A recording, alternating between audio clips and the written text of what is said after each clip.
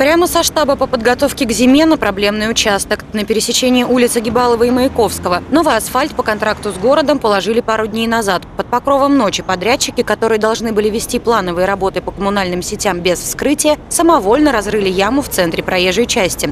Разобраться в ситуации приехал первый заместитель главы администрации Самары Владимир Василенко.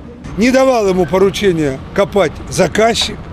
Он это сделал самовольно.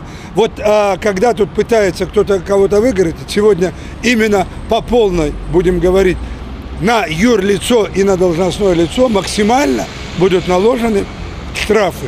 Более того, что для того, чтобы неповадно было руководителям, на этом примере показательно будет э, публично высек, под, э, высечена подрядная организация.